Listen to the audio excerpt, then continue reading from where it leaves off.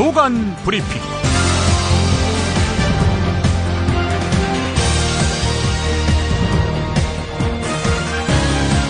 2015년 10월 31일 토요일입니다. 오늘은 경향신문 사설 청와대가 열흘간 검정 교과서 검토했으면 누구 책임인가의 한 부분을 소개합니다. 청와대가 현재의 한국사 검인정 교과서를 발간 전에 이미 열흘 동안이나 검토했다는 증언이 나왔다. 박근혜 정부에서 국사편찬위원장을 지낸 이태진 서울대 명예교수가 어제 방송 인터뷰에서 박근혜 정부 초기에 검인정 작업 심사가 일단 끝났을 때 청와대 교육문화수석실에서 한 부를 가져가서 검토했다. 이렇게 밝혔다.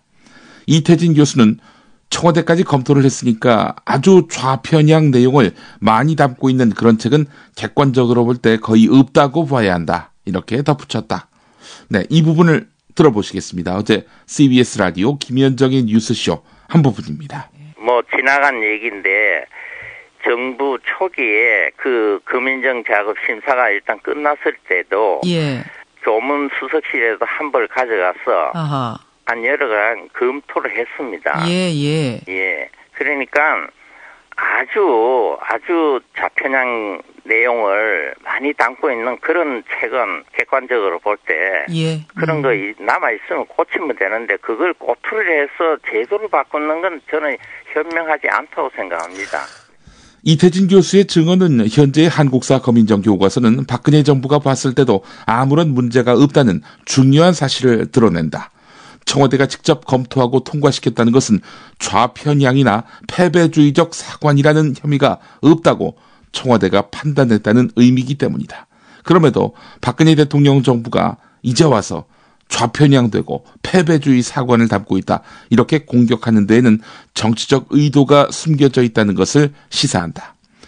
박근혜 정부의 역사교과서 국정화가 자기 부정이며 자가당착임을 말해주는 증거를 이태진 교수 증언 말고도 많이 찾을 수 있다. 박근혜 대통령만 해도 2004년 한나라당 대표로 있을 때 정치인들이 역사를 재단하려고 하면 다 정치적인 의도와 목적을 갖고 하니까 제대로 될 리 없고 나중에 문제가 된다라고 토로한 바 있다. 바로 박근혜 대통령 발언이 바로 박근혜 대통령의 주장이 틀렸다는 가장 유력한 근거다.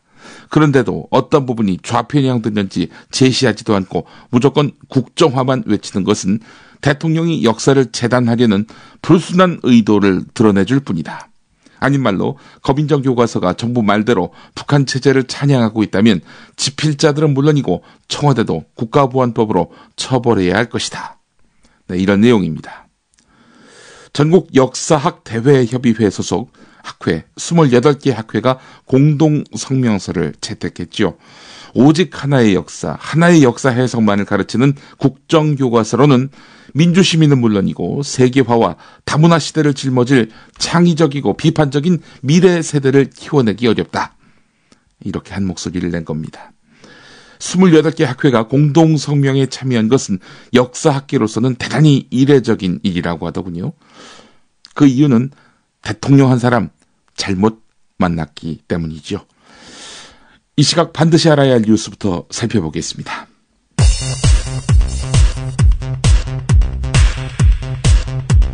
야당의 에, 국론 분열을 가장 반길 세력은 누가 뭐라 해도 북한입니다. 친박인 조원진 새누리당 원내수석 부대표의 말이었습니다. 새누리당은 연일 역사교과서 국정화 문제 반대 여론과 관련해서 북한 배우설을 제기했습니다. 사회 혼란을 막아야 한다면서 검찰을 상대로 수사도 거듭 촉구했습니다.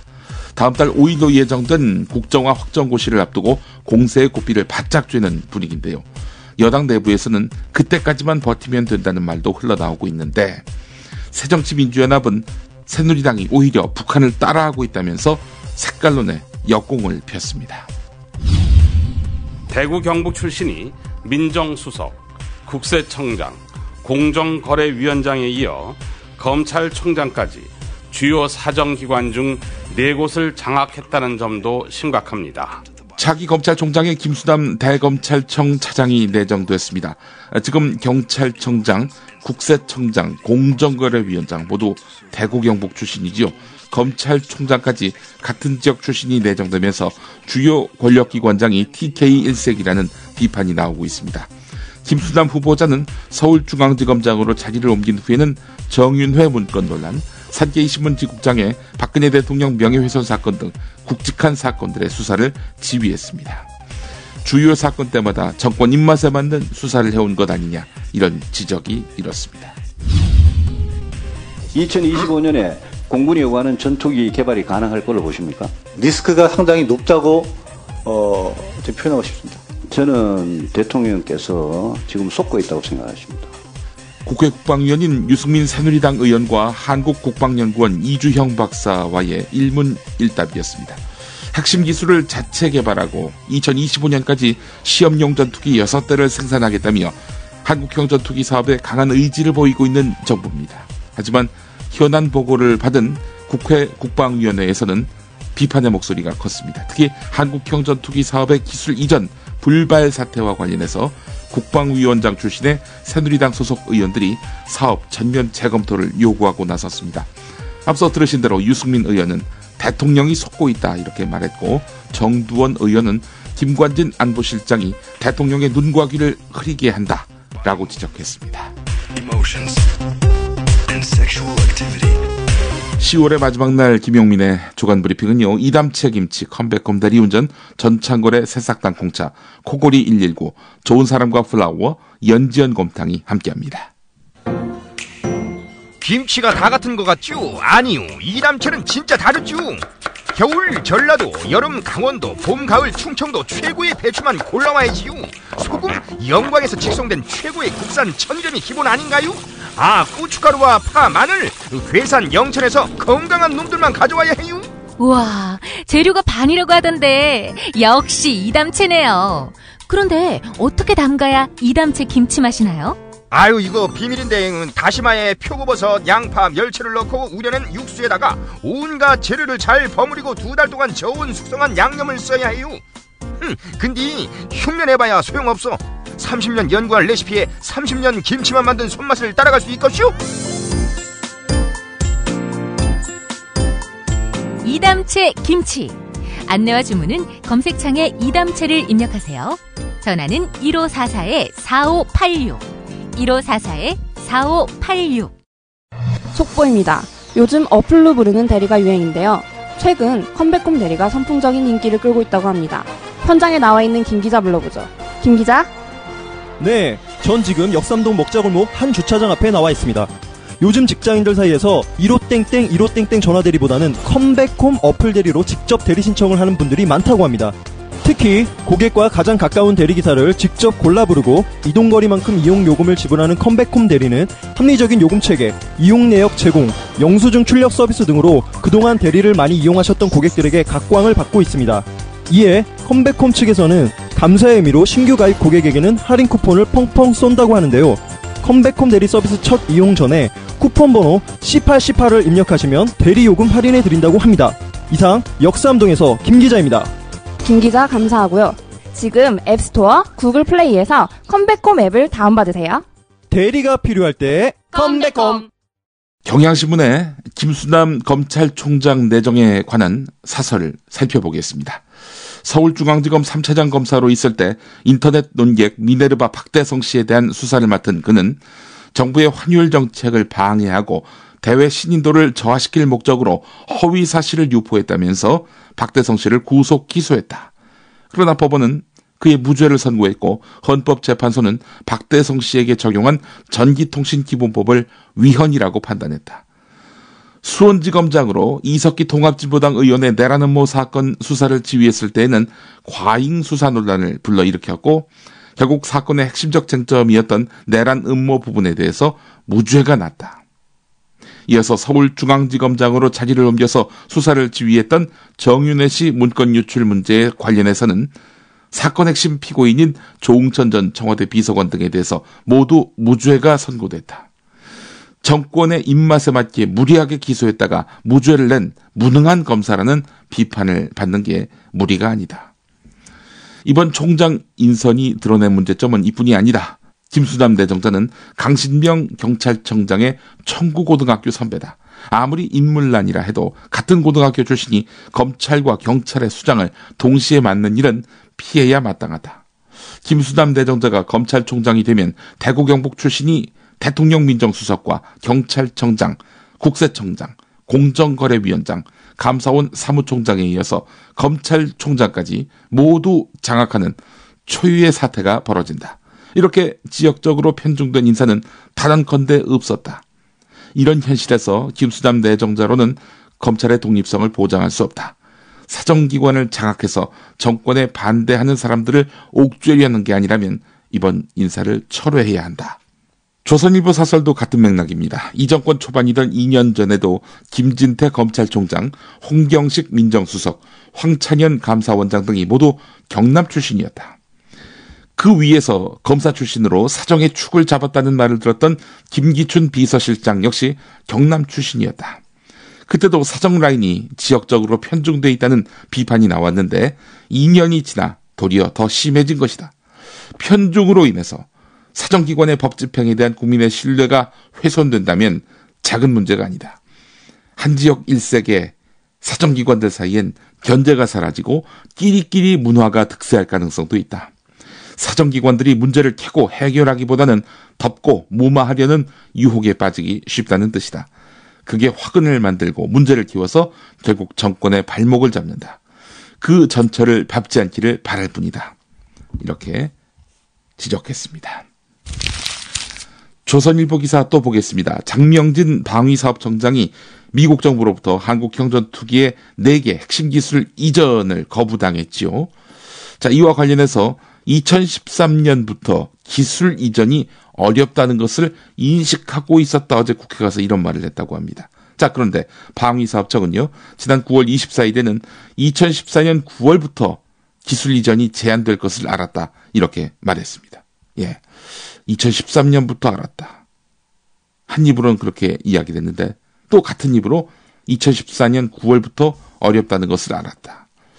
한 달 만에 말이 또 바뀐 겁니다. 군 당국은 2013년 9월 차기 전투기 기종을 미국 보잉사 것으로 정했다가 레이더가 잘 잡히지 않는 스텔스기가 필요하다면서 사업을 원점에서 재검토했습니다. 당시 입찰에 참여했던 전투기 기종 가운데 스텔스기는 로키드 마틴사밖에 없었습니다. 더 이상 경쟁 입찰을 할 수 없는 상황에서 과연 기술 이전을 해줄 수 있을 것인가? 이건 뭐 삼척동자도 의심할 수밖에 없는 정황인데요. 자, 이런 우려에도 불구하고 방사청은 그때 기술 이전에 문제가 없다 이렇게 밝혔었습니다. 그러나 장명진 청장 발언에 따르면은 방위사업청은 사실 이때부터 기술 이전이 어렵다는 걸 알고도 거짓말을 한 셈입니다. 한결에 펼쳐보겠습니다. 김종대 정의당 국방개혁단장의 글입니다. 일부분을 인용합니다. 김관진 국가안보실장 역시 전투기를 철공소에서 만드는 것으로 안 것처럼 보이는 기술의 문외한이다. 그는 국회 운영위원회에 출석해서 답변을 했는데 미국과의 기술 이전 협상에 대한 내용을 전혀 파악하지 못하고 있었을 뿐 아니라 국내에서 레이더와 적외선 추적 장치 등 핵심 장비를 개발하는 기술적 준비 정도에 대해서 전혀 알지 못하고 있었다. 2014년에 한국과학기술기획평가원이 주관한 항공전자장비에 대한 객관적 기술 성숙도 평가 결과는 전자식 레이더에 대한 국내 기술 수준이 요구 수준의 14%에 불과해서 체계 개발 가능성이 어렵다고 했다.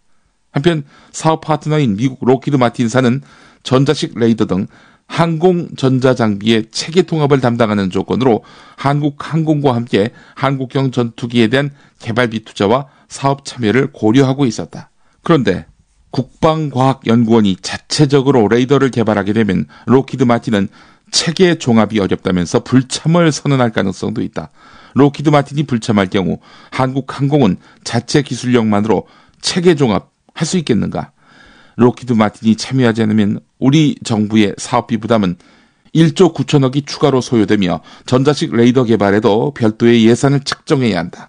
사업비가 급속히 증가하면서 체계 종합 여부는 성공을 확신할 수 없다. 이런 상황이 초래되면 기획재정부는 당연히 사업을 재검토하자고 주장하고 나올 것이다. 이런 사정을 박근혜 대통령과 김관진 국가안보실장이 과연 알았는지 의문이다.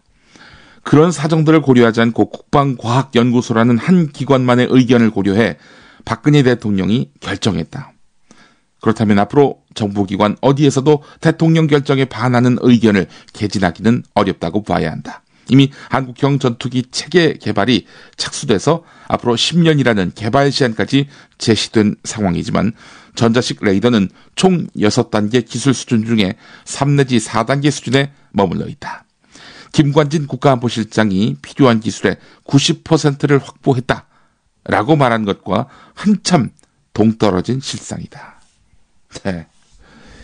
철공소에서 공작하는 정도로 전투기 제조를 이해했던 정부의 외교 안보 라인. 네. 그들의 출세는 국방에 대해서 문외 한인, 국방에 대해서 눈이 먼 대통령이었기에 가능하지 않겠습니까? 선선한 날씨, 따뜻한 차 한 잔이 그립죠. 창밖은 어느새 익어버린 가을 풍경이 가득합니다. 잠시 제멋대로 돌아가는 생각들을 재우고 수고하며 살아가는 자신에게 고마운 미소를 지어보세요. 마음에 무엇을 담을 것인지, 몸에 무엇을 담을 것인지 여전히 늘 당신이 선택할 수 있습니다. 국내 농가의 깨끗한 수경 재배로 새싹을 만들어 식품 공장에서 오랜 시간 증수 건조시켜 만들어지는 새싹 땅콩차. 당신의 잠시 휴식이 되고 싶습니다. 새싹 땅콩차는 여러분께 가을 풍경이 되고 싶습니다. 인터넷 다음에서 새싹 땅콩차를 검색하시고 전창걸닷컴으로 오세요. 전화 문의는 070-8635-1288 070-8635-1288입니다.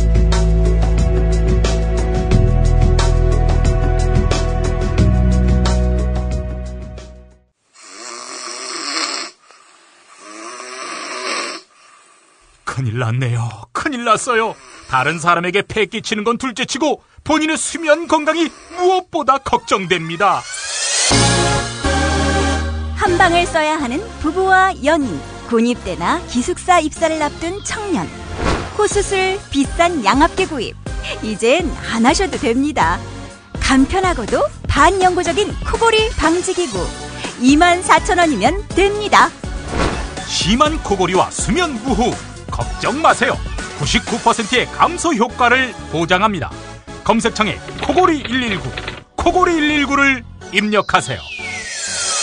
박근혜 대통령이 최근 논란이 되고 있는 한국형 전투기 개발 사업과 관련해서 장명진 방위사업청장에게 대면 보고를 받으면서 했던 말 이것이 오늘 중앙일보의 단독 보도로 실렸습니다. 기가 막힙니다. 박 대통령이 장명진 청장에게 무슨 말을 했느냐? 왜 사서 고생을 하시나요? 이렇게 말했다는 겁니다.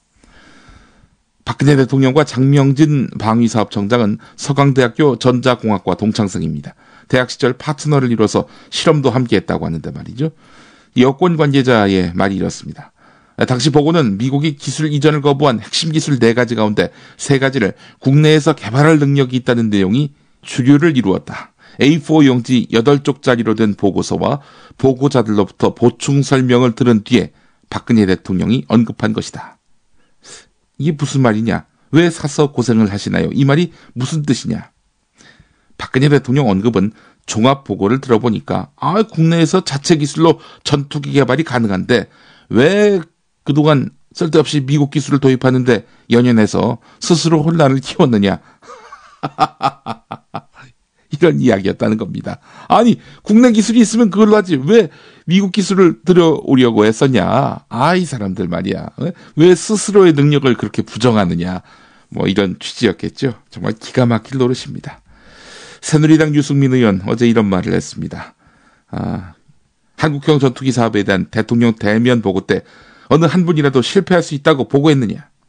그런 보고는 하지 않고 국방부 장관과 방사청장, 국방과학연구소장이 가서 한 시간 동안 성공할 수 있다고 보고하고 격려받고 나오셨는데 나는 대통령께서 속고 있다고 생각한다.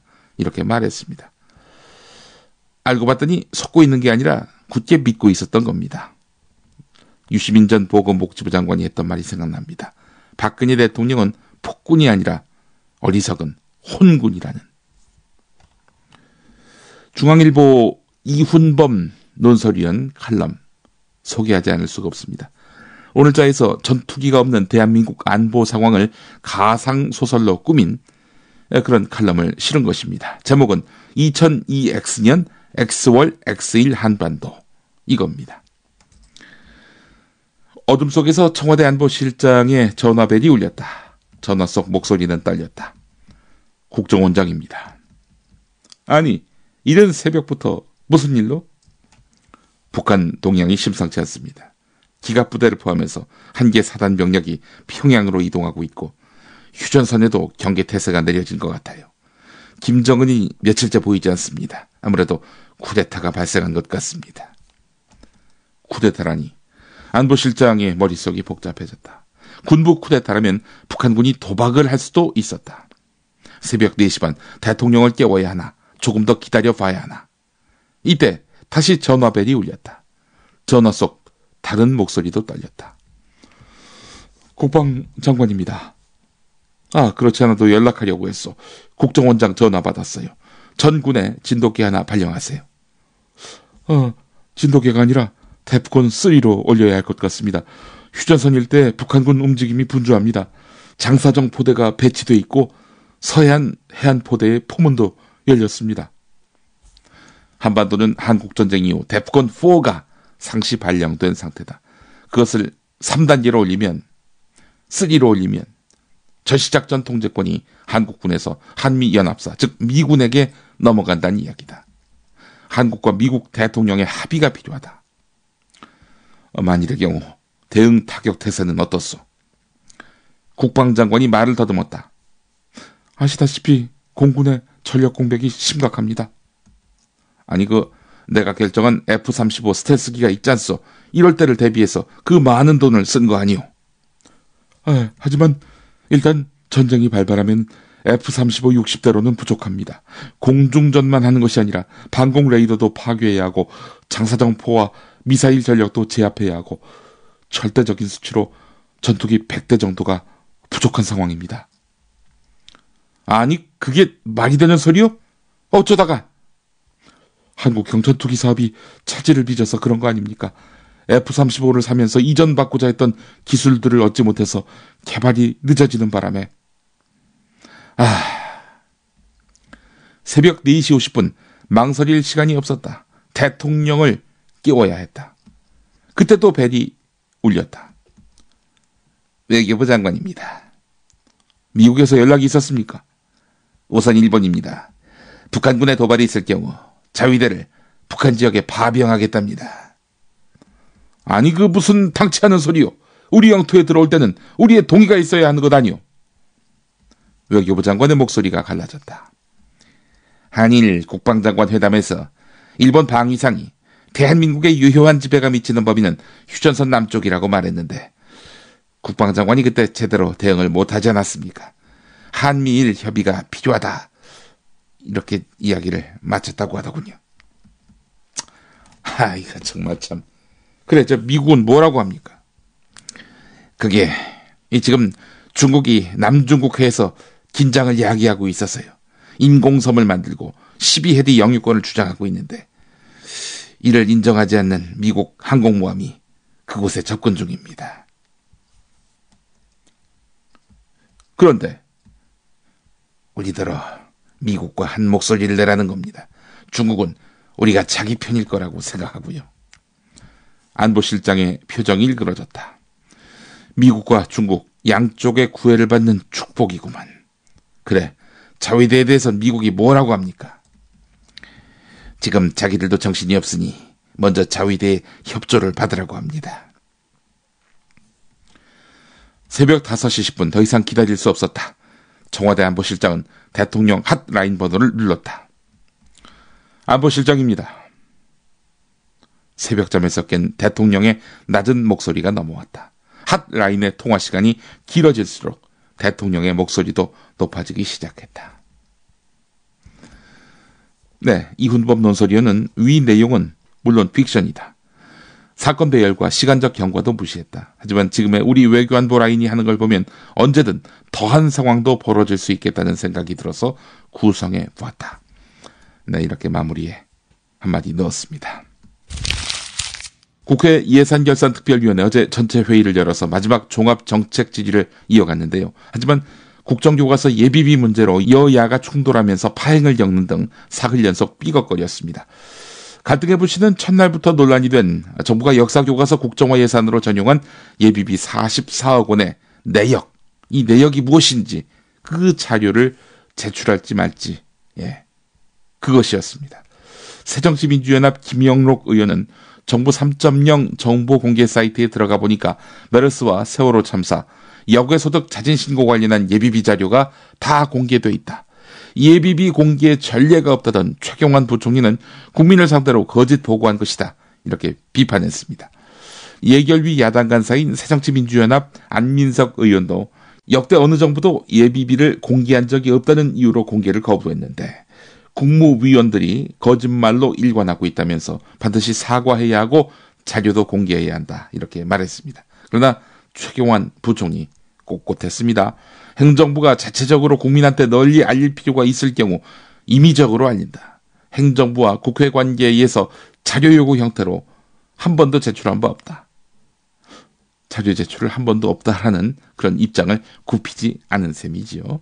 교과서 국정화 예비비 예산은 국민들에게 알릴 필요가 없는 내용이라는 판단을 정부가 자체적으로 했다는 것을 인정한 셈이지요. 또 다른 경향신문 기사 보겠습니다. 도대체 왜 이런 거 명쾌하게 못 밝힐까? 국민의 그 혈세로 쓰는 돈 아닙니까? 국민의 선택을 받은 야당 국회의원이 그 예비비의 내역을 알고 싶다라고 얘기했으면 즉각 보여줘야지 왜 감추고 있습니까? 이 기사를 보면은 대충 짐작이 됩니다. 야당은 예비비 세부 내역이 공개될 경우 논란이 될 내용이 있을 것으로 의심하고 있습니다. 이 때문에 편법까지 택한 것 아니냐 이런 지적이 나오고 있는데 새정치민주연합의 한 예결위원 경향신문과의 통화에서 나도 공무원 생활을 해봤지만은 도무지 이해를 하지 못하겠다. 정부 역점 사업인데 내역을 이렇게 꽁꽁 숨기는 것은 이상하다라고 말했다는 겁니다. 또 다른 예결위원도 세부 항목 가운데 문제가 되는 게 분명히 있을 것이다. 이렇게 말했다고 합니다.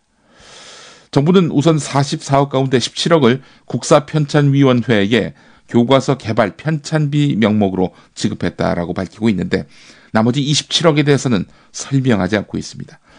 야당 쪽에서는 이 예산 가운데 일부가 보수 성향 시민단체나 언론을 통해서 여론 뒤집기 용도로 쓰였을 가능성을 우선 의심하고 있습니다.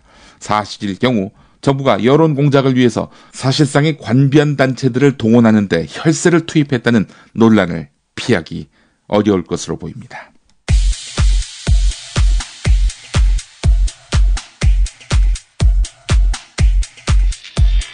그 지난 25일에 그 박정희 전 대통령 36주기 추모제 참석하셨습니다. 에, 거기서 나는 친박이다 이런 말씀을 하셨는데 정확히 어떤 의미인가요? 제가 친박이라는 것만이 아니라 예. 우리 새누리당 국회의원들이나 새누리당은 다 박근혜 대통령을 중심으로 뭉쳐서 어, 해야 된다 이런 이야기입니다. 예. 그래야 지금 국난을 저는 지금 우리 대한민국 국난으로 보고 있습니다. 경제만 어려운 것이 아니라 여러 측면 안보 어, 뭐 면에서든지 외교 관계나 많은 위기에 봉착해 있는데 위기 돌파를 위해서는 위기 탈출을 위해서는 확고한 리더십으로 국민이 뭉쳐야 됩니다. 예. 뭉쳐야 삽니다. 그래서 이 뭉쳐야 사는데 이 뭉치는데 우리 새누리당은 박근혜 대통령을 중심으로 그리고 대한민국도 박근혜 대통령 중심으로 일단 뭉쳐야 되는데 일본에 보십시오 아베를 중심으로 중국은 시진핑을 중심으로 심지어는 북한 같은 경우도 김정을 중심으로 뭉쳐야 예. 그 나라가 살아나가지 지금처럼 이렇게 분열돼서는 대한민국 미래가 매우 위험합니다. 예. 혹시 그 대구 수성갑 당협위원장을 맡으신 다음에 이렇게 좀 견해가 바뀌신 건지요? 아니 원래 그렇습니다. 저는 아, 원래 그런 입장이셨습니까? 예. 우리 새누리당 들어오고 난 다음에 계속 같은 생각을 가지고 있습니다. 예. 22년간 김문수 전 경기도지사 2012년 대선 이후 스스로 원조 친박이라고 강변. 자, 그러나 과거는 그렇지 않다고 말하는데 2012년 대선 경선 과정에서의 발언들을 모아보자면 저는 입당한 지 19년 됐습니다. 우리 박근혜 후보보다도 4년 빨리 입당했습니다. 저는 한 번도 탈당한 적이 없습니다.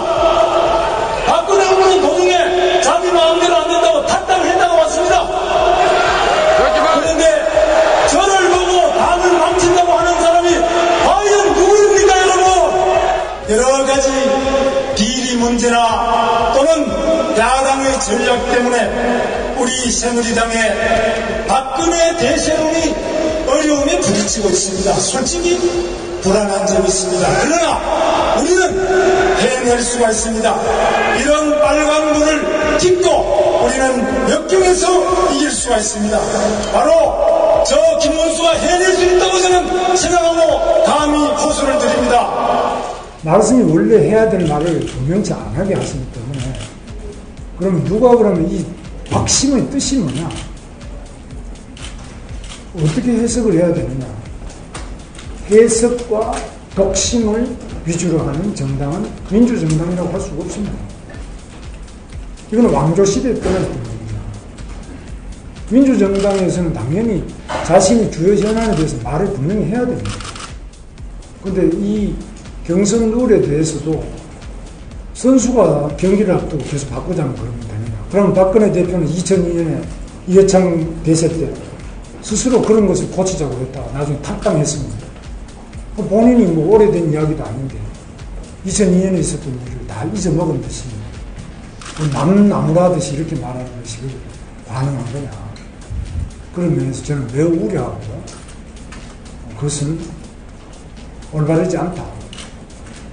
요즘에 또 그럼 무슨 말을 하고 있느냐. 뭐 저는 들은 바가 없습니다만 황우여 대표한테 물어봐도 잘 모르겠다는 거죠. 이게 사실 짐작은 하지만 분명치 않기 때문에 많은 메시지가 혼란이 됩니다. 분명한 말씀이었기 때문에 그 말씀에 대해서 저한테 자꾸 물으면 저도 독심을 할 수밖에 없습니다.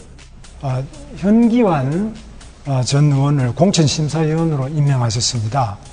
아, 그 현영이 지금 비례대표 의원이 된 분의 그 포럼에 에, 박근혜 후보께서 네 번이나 참석을 하셨어요. 다른 데는 한 번 가기도 어려운데. 그래서 이렇게 우리 비례대표 명단을 보면은 저 사람이 어떻게 비례대표 의원이 됐느냐. 지금 또 많은 사람들이 의혹을 제기하고 있습니다. 아, 그래서 여러 가지로 지금 하는 말이 에, 친박 스폰서 국회의원이다. 뭐 이런 이야기까지 나오고 있습니다. 상당히 수치스러운 겁니다. 모든 공천심사위원을 다 임명하시고 또 모든 당의 비상대권을 가졌던 분으로서 사과를 한마디도 안 하세요, 아직까지. 그 어떻게 된 건지 국민들 이해가 안 갑니다. 근데 사과 하시죠. 그 김문수 후보께서는 분명히 새누리당 당원 아니십니까? 근데 이렇게 지금 아직 결론도 안 났는데 전 국회의원이 모든 비례 어, 그 국회의원들이 전부 비리에 연루된 것 같이 막 이렇게 말을 만드셔 갖고 공중파에서 이렇게 한다는 게 과연 당원으로서 그 어떤 금도를 넘는 말씀 아니신가? 상대가 안 되던 김문수였지만 2012년 공천 뇌물 파동 등의 책임을 집요하게 추궁하는 김문수였기에 짜증이 난 박근혜 후보. 원조 친박 김문수를 겨냥해 한마디. 저는 네가티브에 너무 시달려서 멘붕이 올 지경입니다. 멘붕이 올 지경입니다.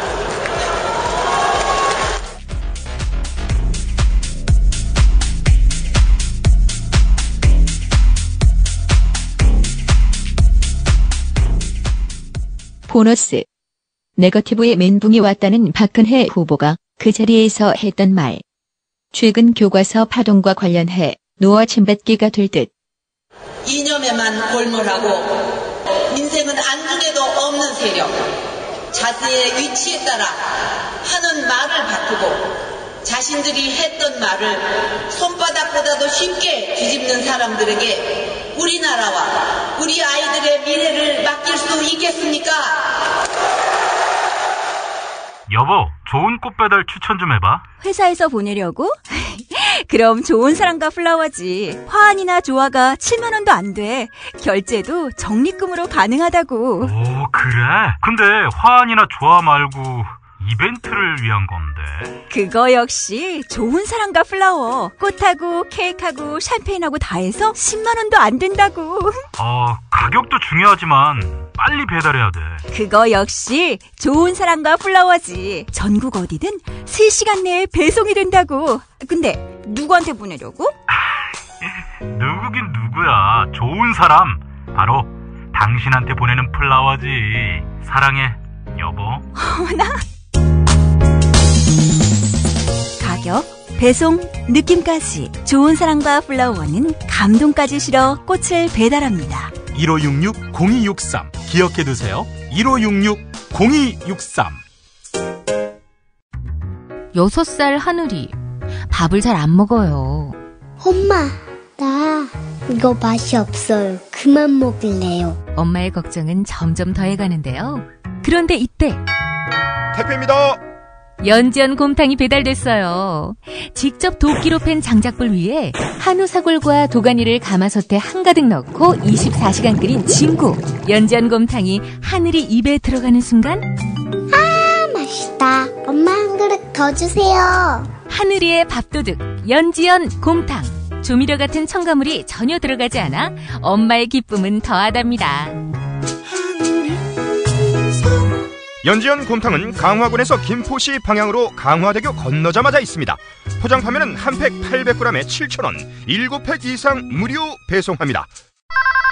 주문 전화는 010-7252-1114, 010-7252-1114. 김용민이 전해드리는 조간 브리핑 이른 아침 조간신문 핵심 기사를 훑어보는 시간 김용민의 조간 브리핑 월요일부터 토요일까지 매일 오전 7시대에 업데이트됩니다. 뉴스뿐 아니라 그 안에 숨은 맥락도 짚어드립니다.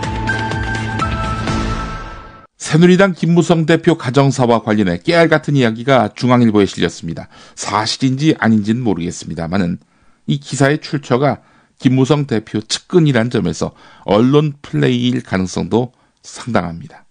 김무성 대표는 마약 남편으로 골머리를 앓고 있는 딸에게 수원대학교 교수직도 그만두라고 권유했다고 합니다. 김현경 씨는 지난해 8월 수원대 디자인 학부 교수로 임용됐지요. 김무성 대표 측은 이번 학기에 맡은 수업은 끝까지 하고 그만두는 쪽으로 생각하고 있다 이렇게 전했는데요. 김현경 씨는 특혜 채용됐다는 의혹을 학교 안팎에서 강하게 샀지요. 김무성 대표가 밀어준 거 아니냐 이런 지적도 제기됐는데요. 아버지가 그만두라 이렇게 이야기하고 딸은 또 그걸 순종하고 어, 그러면은 딸 특혜 채용 문제가 사라지는 거 아니겠습니까? 증발되는 거 아니겠습니까? 이렇게 됨으로써 대선 가도의 걸림돌을 치워보겠다. 김무성 대표의 심사는 이런 것은 아니었는지 하는 생각도 해보게 됩니다. 한국일보 기사 보겠습니다. 아버지 세대의 일자리 정년을 연장하는 것이 자녀 세대의 취업 기회를 빼앗는 것이다. 정부가 누차 주장해왔던 거 아니겠습니까? 그런데 아버지 세대의 일자리 정년을 연장하는 것이 자녀 세대의 취업 기회를 빼앗는 것은 아니다. 이런 연구 결과가 나왔습니다. 전병유 한시대 경제학과 교수가 2015 한국고용정보원 노동시장 분석에 게재한 고용자 고용 현황과 정년 연장의 고용 효과에 따르면 2008년에서 2014년 우리나라 16개 광역지방자치단체와 163개의 기초자치단체의 청년층과 장년층의 고용률을 분석해 봤더니 장년층 고용률이 높은 지역이 청년층 고용률도 높은 것으로 나타났습니다. 장년층의 고용률이 높다고 해서 청년 일자리가 줄어드는 게 아니라 소폭이지만 함께 늘어나는 것으로 나타났다는 겁니다. 결국 의지의 문제다. 이렇게 봐야 할 것 같습니다. 외국에서도 이와 비슷한 사례들이 적지 않다고 하는데요. 실제 경제협력개발기구 OECD도 2006년에 장년층 고용률이 높아지면 청년층 고용률이 떨어지는 관계는 성립되지 않는다. 이렇게 밝혔습니다. 한국일보 또 보겠습니다. 토요일 북섹션에 김학민 이창훈이 쓴 박정희 장군 나를 꼭 죽여야겠소. 이 책이 소개되고 있습니다. 박정희 장군 나를 꼭 죽여야겠소라는 제목에서 항변이 느껴집니다만은 네. 여기서 나는 황태성입니다. 1961년 5.16 쿠데타 직후 북한 김일성의 대남 밀사로 내려와서 박정희와 김종필을 만나려고 애쓰던 중 체포돼서 간첩 혐의로 처형된 인물인데요. 제목의 질문은 황태성 본인의 말이 아니고 출판사가 붙인 겁니다. 사실 황태성은 박정희와는 잘 아는 사이였습니다. 박정희의 형 박상희의 오랜 친구면서 함께 사회주의 운동을 한 동지였습니다. 박상희는 황태성의 소개로 아내 조귀분을 만나서 결혼했습니다. 박정희가 형처럼 따랐고 청년 시절의 멘토가 바로 이 황태성이었습니다. 박상희가 조귀분과 결혼했다라고 말씀드렸죠. 박상희 조귀분 사이에서 박영옥 씨가 태어납니다. 이 사람이 나중에 김종필 씨와 결혼하게 되고요. 자, 그런데 그 박정희가 자기를 죽이려 했다. 황태성으로서는 박정희를 원망했을 법하지요.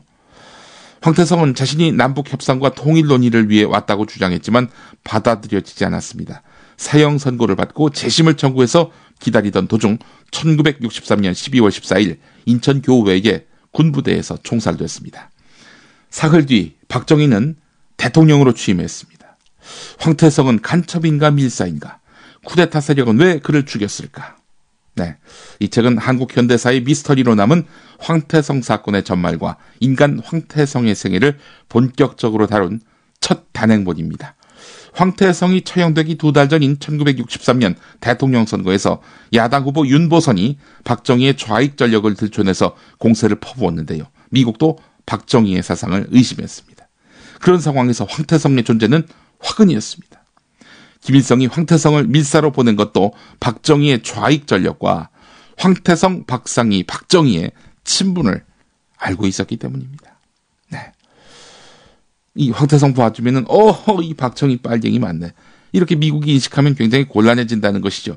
자기의 입신과 출세를 위해서 형의 친구 또 자신의 멘토를 죽였던 박정희였다. 이렇게 봐도 무리는 아니지 않을까요? 황태성 사건은 오늘날 종북몰이의 뿌리라 할 수 있는 공안 조작 사건의 원조기도 했습니다. 독재 정권을 두둔하고 여성을 차별하며 성소수자를 저주한 바울을 새로 고쳐 읽습니다. 맨 얼굴의 예수의 저자 김용민 박사가 쓴 바울 새로 읽기 살찐 로마서 고쳐 읽기 진정한 민주주의자, 확신을 가진 평등주의자, 그래서 건강한 그리스도인 바로 바울이었습니다. 왜냐고요? 예스24, 알라딘, 교보문고 등 주요 서점에서 10월 20일부터 만나보세요. 김용민의 신간 살찐 로마서 고쳐 읽기 1위에서 나왔습니다.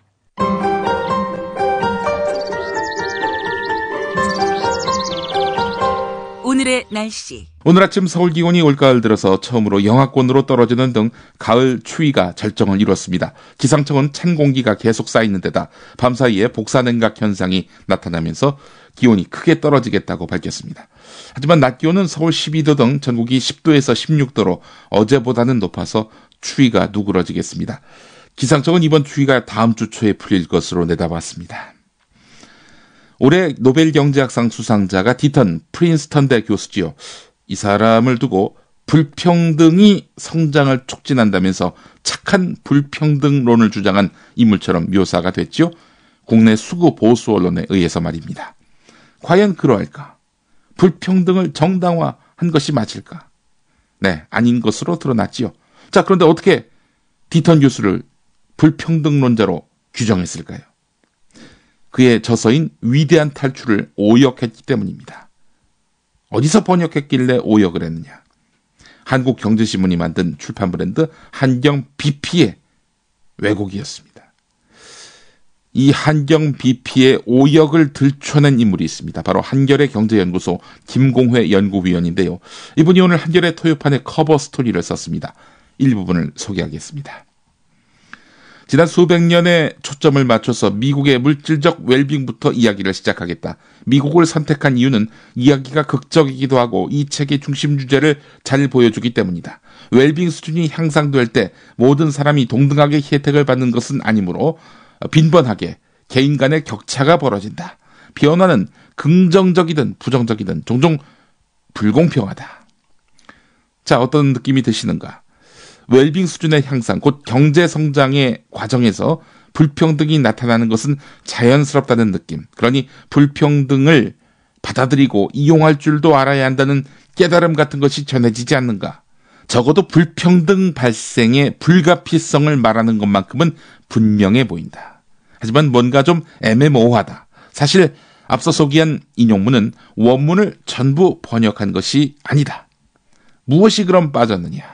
불평등을 고찰하는 것은 중요하다. 그것은 우리가 삶의 개선을 어떻게 판단해야 할지, 누가 이익을 얻고 누가 뒤처지는지를 고찰하기 위해서도 중요하며 불평등은 그 자체적인 효과를 내기 때문이다. 만약 불평등이 뒤처진 이들에게 새로운 기회를 이용하는 방법을 알려주는 식으로 작용한다면 불평등은 성장을 확산시킬 수도 있다. 그러나 그것은 물질적 개선을 깎아내릴 수도 있고 심지어 그것을 통째로 날려버릴 수도 있다.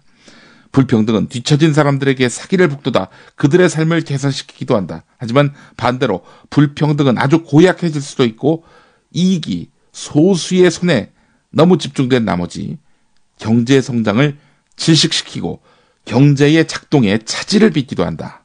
어, 이 한국어판에 누락된 내용을 보면은 불평등은 아주 고약해질 수도 있고 이익이 소수의 수중에 너무 집중된 나머지 경제 성장을 질식시키고 경제의 작동에 차질을 빚기도 한다.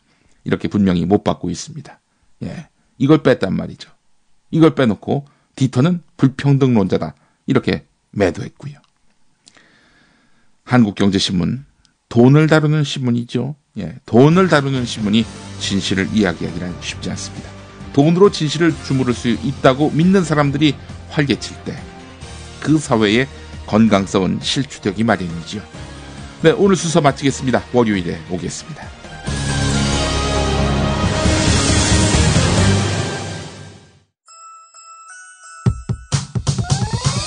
이번 방송 괜찮았나요? 작별의 여운 이렇게 표시해 주세요.